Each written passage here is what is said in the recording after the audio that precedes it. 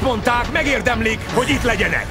Amikor a pályára lépünk, minden percben, amíg az óra ketyeg, ki fogjuk hajtani a belünket. Járatjuk a labdát, lepasszoljuk a labdát, és ami a legfontosabb, mi irányítjuk a játékot. Mi, és nem ők, játsszuk a magunk játékát. Ki nyeri meg a meccset? Egy, két, há... Gyerünk, uraim! Nyomás minden bele!